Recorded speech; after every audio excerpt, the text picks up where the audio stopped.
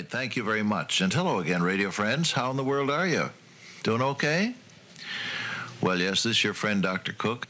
Fall is pretty well underway, and of course, the fall colors in the Midwest and Northeast are uh, beautiful. Out in California, I presume things are turning golden, and uh, you have a little different kind of, of terrain there, different colors, but all beautiful. Have you ever looked up and thanked God for the world that He made? Take one of the leaves on the tree and look at it through the microscope and see the, the infinite care that went into the designing of that leaf. And look at, at, at the, the beauty of things around you and the world as we see it, like a jewel hung in the sky. Look up and thank God for it sometimes. I think most of his creations go blindly on without ever thinking of their creator.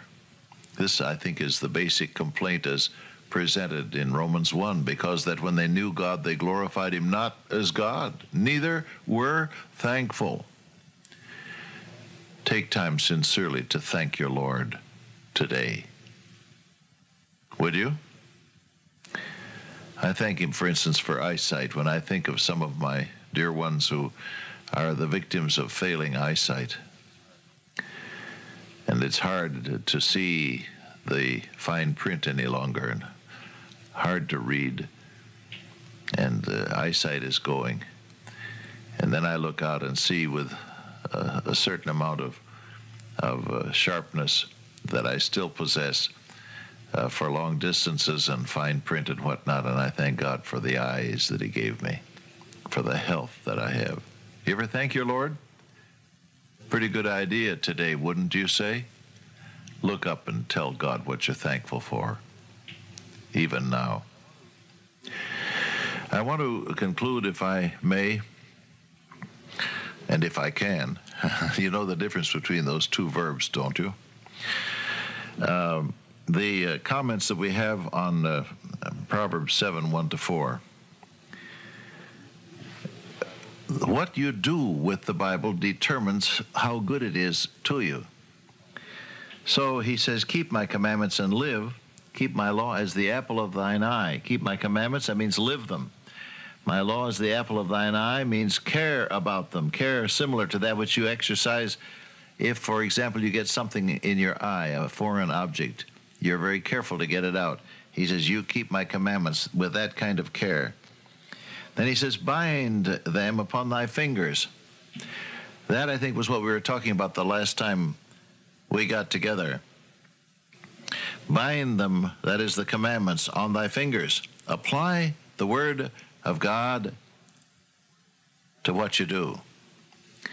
Do what you do in the enablement and on the authority of the Word of God, and you'll never go wrong. God will never lead you in answer to prayer. He will never lead you to do something that is contrary to His revealed Word, the Bible. So let the Word of God be the, the criterion, let it be the measuring stick, let it be the authority, let it be the standard by which you determine what is right and wrong for you. Paul said, Let the word of Christ dwell in you richly, in all wisdom, teaching and admonishing one another, in psalms and hymns and spiritual songs, singing with grace in your heart to the Lord. The word of Christ dwell in you richly. This is normal Christianity.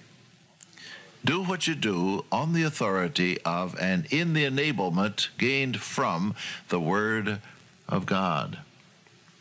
Then said he, Write them, that is God's commandments, upon the table of thine heart. This has to do, whenever God speaks of the heart, he speaks of the inner person, the whole being, knowledge, emotions, and will. And he says, Let the word of God then affect all of your inner being. Let it control your knowledge and your use of knowledge. Let it control, let the Word of God control your feelings, your emotions, and what you do as a result of your emotions. Let the Word of God determine what you will to do. When you bind the Word of God upon the table of your heart, you are in effect making God's Word operative in every area of your inner life. Do you get that? Now, how do you do this? Well, I think we'll have to realize that your inner life is affected by everything that you read or see or hear. Inevitably, your mind, it's what the psychologists, I think, now call the unconscious mind. They used to call it subconscious, now they call it unconscious. I sometimes joke and say the unconscious mind was named for a college freshman, however that may be. uh, there is a portion, beloved, there is a portion of your brain that takes in and stores every conscious impact that is made upon it. Everything that you see and hear and read and experience is stored in that computer. So that if the Word of God is stored in the computer, so to speak, it will become a determining factor in your reaction to life, in your decisions concerning life, in your feelings about life. People say to me, I can't help I feel this way, and I have to agree with them. I say, yeah, I agree, you can't help it. But you can do something about it. The Word of God can change your feelings about things. Yes, it can. The psalmist said that he was upset. He said, I was so upset, I said, All men are liars. I was like a beast, he said, before thee. But then he said, I went into the sanctuary and I began to understand. God's word and God's presence can change your feelings about things. Indeed, he can. So, he says, Write these commandments on the tables of thy heart. This has to do then with the memory, the active memory that applies itself to knowledge, feeling, and will, to your whole being, the inner person, that immortal spirit that will live forever, the real you. He said, put the Word of God to work there. Now, a moment ago I said, How do you do this? You start by reading. What you read does have a tremendous effect upon you.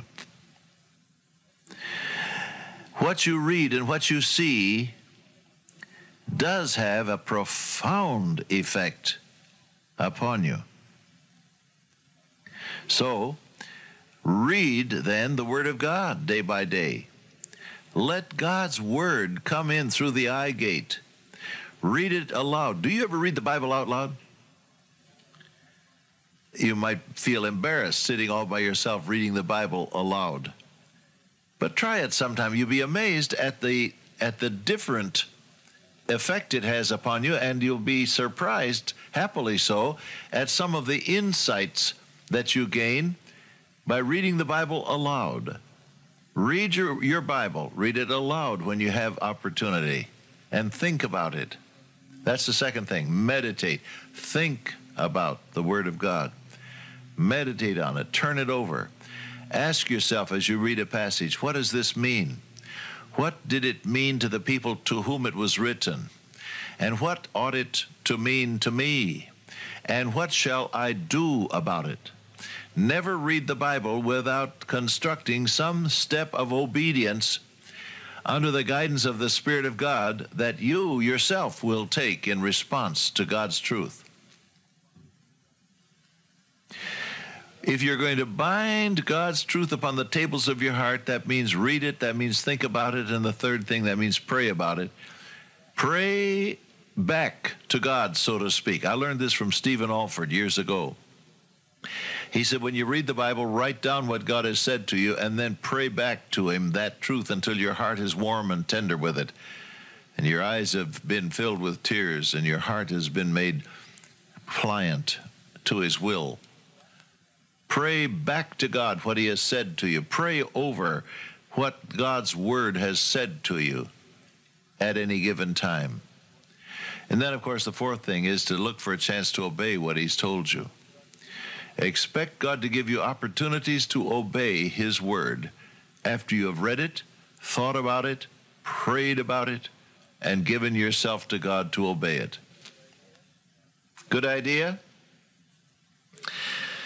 He says, Write them upon the table of thine heart. Now, here's an interesting comment that follows that third verse. Verse 4 says, Say unto wisdom, Thou art my sister and call understanding thy kinswoman. What's he talking about? He says, take God's word into your family. Think about the Bible as affectionately and as dynamically as you would think about one of your close relatives. Say unto wisdom, Thou art my sister. Now, I have one sister uh, who uh, throughout my lifetime has had an immense and blessed impact upon my own life. And when I think of her, I think with affection and appreciation and love and concern.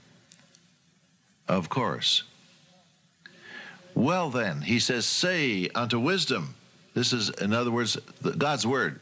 Say unto God's word, the Bible, as we would say today, Thou art my sister. In other words, look upon the Word of God with the same affection and appreciation and concern that you would have for a near member of your immediate family. You are involved personally with that person. You are concerned for their welfare. You are grateful for their love and affection and kindness and so it ought to be for you and for me, for the Word of God. We should be concerned about God's Word and our relationship with it. That's what he's talking about. You want to apply that today? You see, it's a far cry from having the Bible on the shelf or carrying it under your arm on Sunday to having the Word of God in your heart and being concerned about it as though your relationship was that of a near relative. But that's exactly what's going to keep you safe under the stresses and strains of testing and temptation. Well, it's been a good study, hasn't it? You want to meet temptation successfully? Meet it with the Word of God in your heart and in your conduct. Dear Father, today may Thy Word control our thoughts and words and actions and our reactions under stress. In Jesus' name, amen. Till I meet you once again by way of radio, walk with the King today and be a blessing. This has been program number 2456.